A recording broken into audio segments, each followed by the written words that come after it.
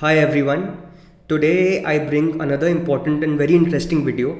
इस वीडियो में बताऊँगा कि हम सब अपना राइजिंग साइन अपना सन साइन और मून साइन कैलकुलेट कैसे करते हैं, देखते कैसे हैं और वैदिक एस्ट्रोलॉजी जो हमारी ज्योतिष हो गई, उसमें ये रिप्रेजेंट या इनका मतलब क्या होता है तो फ़र्स्ट एंड फोरमोस्ट मैं आपसे बात करूँगा कि लगन क्या होता है that is what is your rising sign in ज्योतिष लगना राइजिंग साइन असेंडेंट तीनों का मतलब एक ही है।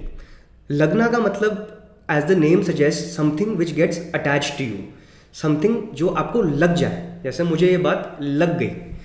लगना ज्योतिष के अंदर बारह तरीकों के होते हैं। जैसे बारह राशियाँ होती हैं, बारह जोडियक साइन उसी तरीके से बारह किस्म के लगन होते हैं। तो हम सारे इंडिविजुअल्स हम सारे नेटिव्स किसी ना किसी लगन के होते हैं। अब लगन मैंने जैसे कहा, बारह ही होते हैं, तेरह नहीं होते। तो मैं आपको एक तो कैलकुलेट करना सिखाऊँगा कि लगन कैलकुलेट कैसे करते हैं। बट उससे पहले थोड़ा आइडिया ले लेते हैं कि लगन थियोरेटिकल सेंस में मतलब क्या होता है।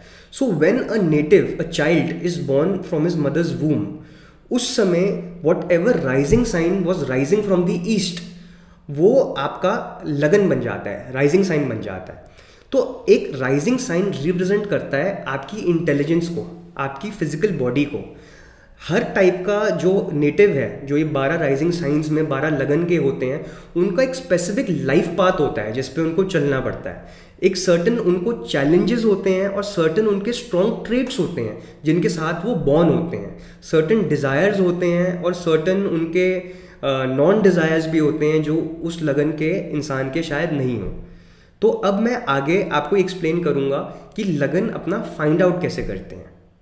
तो एज यू कैन सी ये एक नॉर्थ इंडियन बर्थ चार्ट है। तो इस नॉर्थ इंडियन बर्थ चार्ट के अंदर ये जो, ये घर है ना, इसको फ़र्स्ट हाउस कहते हैं, ये फिक्स्ड होता है हम सभी के लिए। जो इस फ़र्स्ट हाउस में नंबर्स लिखे हुए हैं, उनको राशियाँ कहते हैं फ़र्स्ट हाउस सेकंड हाउस में। तो जैसे बारह ही घर होते हैं तो उसी तरीके से जैसे मैंने बताया, बारह ही राशियाँ दैट इज़ जोडियक साइंस होते हैं। तो जैसे हम एग्ज़ाम्पल लेते हैं कि जैसे इस चार्ट में, अगर आप देखेंगे, ये फ़र्स्ट हाउस है इसके अंदर राशि लिखी हुई है नंबर छः तो मैंने साइड पे चार्ट प्रोवाइड करा हुआ है। अब इस चार्ट पे हम देखेंगे कि ये जो राशि हैं, उसके साइड पे ये नंबर्स अलॉटेड हैं। एक मैंने पहले भी एक वीडियो बनाई है। आप उसको रेफ़र कर सकते हैं। मैंने डिस्क्रिप्शन बॉक्स में ऐड कर दूँगा। अगर आपको ये जानना है कि राशियाँ प्लैनेट्स को और नंबर्स कैसे अलॉट हुए राशिज़ को सो मूविंग अहेड अब हमने देखा कि इस फ़र्स्ट हाउस में नंबर सिक्स लिखा हुआ है। तो अब हमने चार्ट रेफर करा नंबर सिक्स का मतलब वर्गो लिखा हुआ है। तो इसका मतलब ये है कि ये चार्ट एक वर्गो राइजिंग साइन का चार्ट हो गया या वर, वर्गो लगन चार्ट बन गया। एक और एग्ज़ाम्पल ले लेते हैं। अब ये फ़र्स्ट हाउस है। इस फ़र्स्ट हाउस में क्या डिजिट लिखा हुआ है? क्या राशि लिखी हुई है? डिजिट राशि सेम बात हो गई। अब यहाँ पर नंबर टेन लिखा हुआ है। नंबर टेन हम लिस्ट को चेक करते हैं तो नंबर टेन का मतलब हो गया केप्रिकॉन तो ये जो राइजिंग साइन की चार्ट हो गई, ये लगन हो गया केप्रिकॉन चार्ट ठीक है? अब आगे बढ़ते हैं. So sun in Jyotish represents our ego it is our soul it is also our father तो according to great Vedic astrologer mister Sanjay Rath we all are born here to be punished by the sun soul takes physical form in this biomechanical suit called body so that we can go through the vicissitudes of life, जितने भी life के उतार चढ़ाव हो गए ups and downs हमारे losses gains hunger fulfilment ये सब हम बॉर्न हुए हैं ताकि ये सारी चीज़ें हम लाइफ की एक्सपीरियंस कर सकें और सन को अपना पेंडिंग कर्मा रिलीज़ कर सकें। सो सन साइन इंपॉर्टेंट इसलिए हो जाता है क्योंकि आप लोगों ने बहुत बार सुना होगा कि मेरा सन साइन ये है, मेरा सन साइन लिब्रा है। सन साइन का मतलब है कि हमारा जो सोल है, वो कौन सी राशि में है? क्योंकि जिस भी राशि में हमारा सन आ जाता है सोल आ जाता है, उस राशि के कैरेक्टरिस्टिक्स हमारा सोल डिज़ायर करता है उसको रिलीज़ करने का, वैसे बिहेव करने के लिए।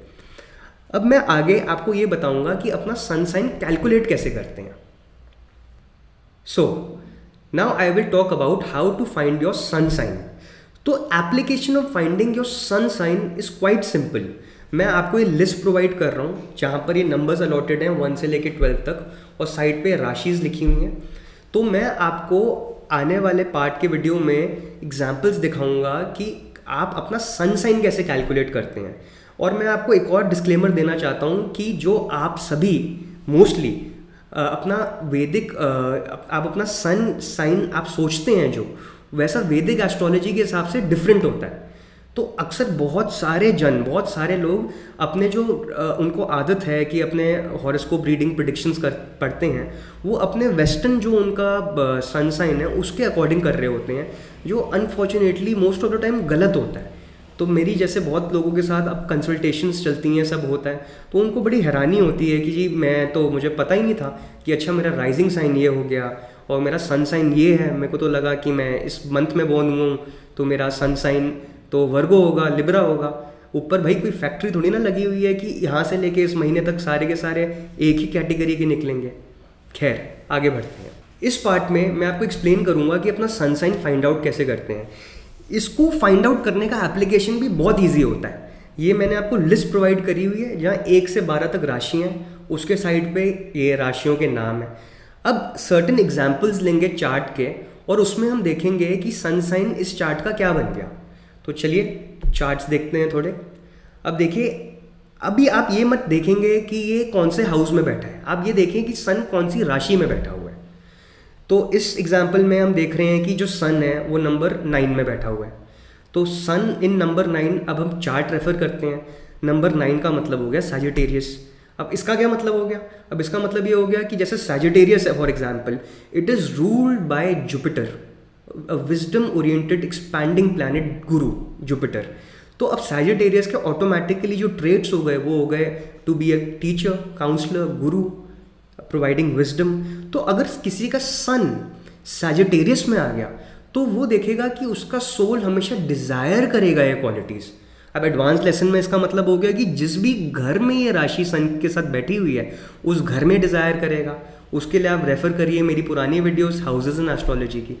उसी तरीके से एक और एग्ज़ाम्पल ले लेते हैं। अब इस चार्ट के अंदर हम देखते हैं सन कौन सी राशि में लिखा है। सन लिखा हुआ है नंबर एट राशि में। अब नंबर एट राशि का मतलब चार्ट के हिसाब से हमने देखा स्कॉर्पियो हो गया। अब स्कॉर्पियो का मतलब क्या हो गया? Scorpio is ruled by Mars तो मार्स खुद ही बड़ा एक रेड एनर्जेटिक एंग्री प्लैनेट होता है, वैसे तो। तो स्कॉर्पियो मार्स की ना बड़ी डार्कर साइड होती है, क्योंकि Scorpio is like stagnant water तो अब किसी का अगर sun that is it soul Scorpio में हो गया तो स्कॉर्पियो की राशि के लोग बड़े ही इंट्यूटिव हो सकते हैं मिस्टीरियस हो सकते हैं सीक्रेटिव हो सकते हैं। तो अब यहाँ पर जो सोल है, उसकी क्वालिटीज़ कैसी हो गई? To be very intuitive to be highly secretive very mysterious तो ऐसे हमने अपना सन साइन भी निकालने के मैंने आपको कुछ एग्जाम्पल्स दे दिए। अब हम आगे बढ़ते हैं। अब मैं बात करूँगा मून की। तो मून वैदिक एस्ट्रोलॉजी में रिप्रेजेंट करता है हमारे माइंड को, हमारे इमोशंस को। Moon is actually the way we think moon also represents nourishment it is a mother sun father हो गया तो मून हमारी मदर हो गई। अब जैसे मैंने आपको बताया कि lagan that is your rising sign आपका पाथ हो गया लाइफ का। आपकी कहीं ना कहीं इंटेलिजेंस आपकी फ़िज़िकल बॉडी हो गई। तो उसी तरीके से सन आपका सोल हो गया। तो सोल अपना मैक्सिमम पेंडिंग कर्मा रिलीज़ करता है, जिस भी राशि में हो, जिस भी घर में हो। उसी तरीके से जो मून हमारा माइंड है, जिस भी राशि में हमारा माइंड चले जाता है मून हमारा दिमाग, हमारा थॉट प्रोसेस उस राशि से रिलेटेड उस जोडियक साइन से रिलेटेड बहुत ज़्यादा सोचता है। हम देखते हैं कि हमारा सोल जो मर्ज़ी सोच रहा हो, हमारा लगन जैसा मर्ज़ी हमें पाथ पे लेके जा रहा हो बट हमारा माइंड उस चीज़ों के बारे में कॉन्स्टेंटली सोचेगा। तो इसको कैलकुलेट करने का भी तरीका बहुत ही ईजी होता है। मैं आपको प्रेजेंट करता हूँ। तो how to calculate your moon sign तो जैसे हम अपना सन साइन कैलकुलेट करते हैं, हम सेम एप्लीकेशन यूज़ करते हैं हमारे हमारे मून साइन को ढूँढने के लिए। अब मून साइन कैलकुलेट करने के लिए ये हम चार्ट रेफर करेंगे और देखेंगे कि आपका जो मून है, जिसको हम ज्योतिष में चंद्रमा कहते हैं, वो कौन से नंबर में लिखा हुआ है? मतलब कौन सी राशि में बैठा हुआ है? तो चलिए कुछ चार्ट्स रेफर करते हैं।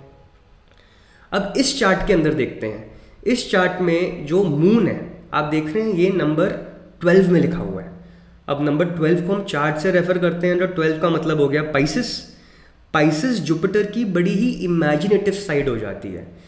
बहुत ही क्रिएटिव साइड हो जाती है। तो अगर किसी का मून पाइसिस में हो गया तो वो इंसान बहुत ज़्यादा क्रिएटिव हो सकता है हाईली इमेजिनेटिव हो सकता है। उसी तरीके से एक और एग्ज़ाम्पल ले लेते हैं। अब इस चार्ट में हम देखते हैं तो मून हमारा लिखा हुआ है एक नंबर में।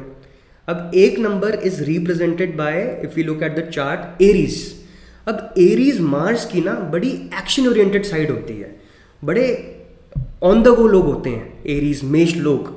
तो अगर किसी का माइंड मून एरीज राशि में है तो उसको हमेशा होगा कि मैं ये काम करूँ और ख़त्म कर दूँ।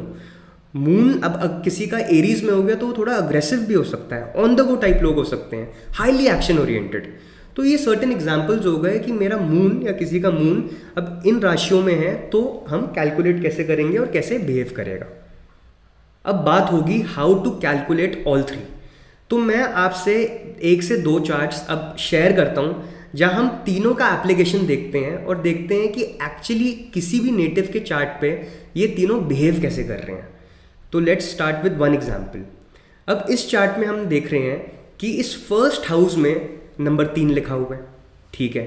तो नंबर तीन लिखा हुआ है और ये फ़र्स्ट हाउस है तो ये राइजिंग साइन या लगन, कौन से लगन की कुंडली हो गई है?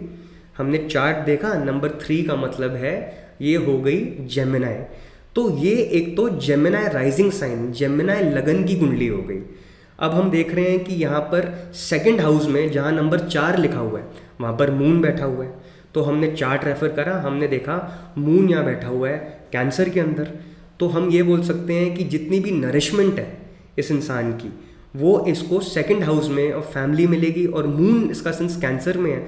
तो इसका जो माइंड है it can be all about providing nourishment अब हम वैसे देख रहे हैं कि जो इसका सन है, इस चार्ट में, ये सन बैठा हुआ है सेवन्थ हाउस में नंबर नाइन में।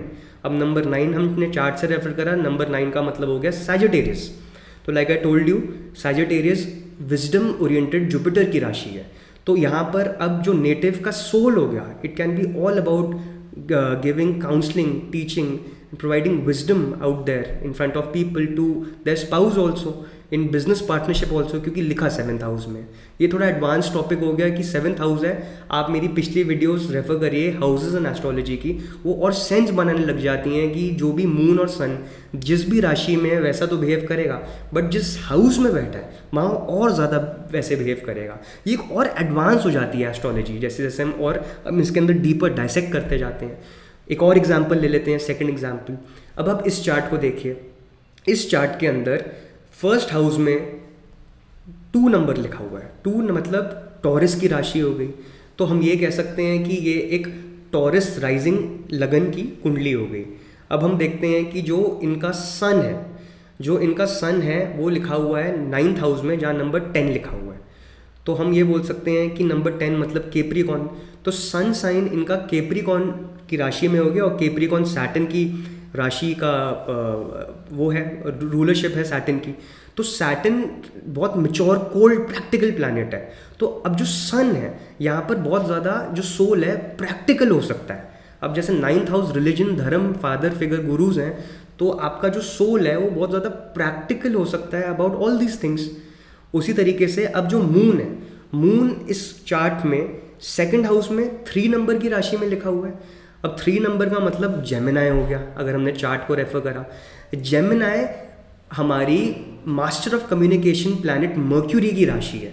तो जो माइंड है it can be all about communication अगर मैं इसको क्रक्स में कंक्लूड करना चाहूँ तो मैं ये कह सकता हूँ कि this is a Taurus lagna chart with moon sign in Gemini and sun sign in Capricorn तो इसको मैं एक्सपैंड करते हुए ये भी बोल सकता हूँ कि टॉरस लगन नेटिव को बहुत ज़्यादा फाइनेंशियली सिक्योर सिक्योरिटी के बारे में uh, बहुत ज़्यादा कंसर्नड और बहुत ज़्यादा मनी ओरिएंटेड बनाता है बट साथ में जो मून है mind it is always focusing towards communication and towards fulfilling communication with in the family और सिंस इस जो सन है वो हमारा नाइन्थ हाउस में आ गया नंबर uh, टेन की राशि में तो soul can all be about being very practical out there so you can see you can be very money oriented financial security oriented person also with a lot of emotions and thought process trying to be very communicative yet being very practical as a soul तो इस video को बनाने का मेरा जो मकसद था, या एजेंडा इंटेंशन था, वो ये था कि एक्चुअली जो हम uh, जितने भी लोग हैं मेजॉरिटी पीपल आउट देयर एक तो वो लोग अपनी जो हॉरस्कोप रीडिंग्स करते हैं, वो अपने वेस्टर्न एस्ट्रोलॉजी के हिसाब से करते हैं। जैसे मैंने शुरुआत में बोला कि ये कोई मैन्युफैक्चरिंग फैक्ट्री थोड़ी ना लगी हुई है यूनिवर्स में कि एक तारीख से दूसरी तारीख तक जितने भी लोग बनेंगे वो लिबरन्स ही बनेंगे, या फिर इस तारीख से इस तारीख तक सारे लोग स्कॉर्पियन ही बनेंगे। दो लोग सेम डेट पे पैदा होके भी बहुत डिफरेंट हो सकते हैं। तो what I want to share with all of you is that we all are unique individuals unique souls and to some basic gross level level we are a blend of three things our sun sign moon sign and our ascendant ऐसे तो ये बहुत gist level पे है। हम अगर further dissect करें, जैसे मैंने आपको बोला कि अपने हाउस देखें कि किस हाउस में बैठे हुए हैं, वहाँ आपको और क्लैरिटी मिलती है। फिर आपको आपकी दशास पता हो, आपको पता हो कि प्लैनेट्स आपके किस नक्षत्र में बैठे हैं, वो और क्लैरिटी देते हैं। But gross level root level foundation ये जिस्ट है। इससे हमें पता लगता है कि हम लोग सारे यूनिक इंडिविजुअल्स हैं और हमारा सन साइन मून साइन और लगन कुंडली देखी कैसे जाती है। इनफैक्ट जितने भी प्रिडिक्शंस और बड़े बड़े एस्ट्रोलॉजर्स हैं जो हॉरोस्कोप प्रिडिक्शंस दे रहे होते हैं, वो आपके मून साइन और राइजिंग साइन के बेसिस पे दे रहे होते हैं। उन वेस्टर्न एस्ट्रोलॉजिकल साइंस के ऊपर नहीं, जो फिक्सड ही रहते हैं और जो आपको लगता है कि एक्चुअली आप अपनी प्रिडिक्शंस ठीक पढ़ रहे हैं। तो trying to conclude this video we all are we each one of us we all are consciousness living in this biomechanical suit experiencing this dimension and game called life so I just wanted to tell you कि जिस level पे basic level पे अपना सन moon और lagan that is your rising sign calculate कैसे करते हैं तो अगर आपको इस वीडियो से क्लैरिटी मिली हो तो like this video and please subscribe to our channel to stay updated to more such astrological videos या सिंपल फैक्ट्स रिलेटेड और टू द पॉइंट वीडियोज़ मैं बनाते रहूँगा।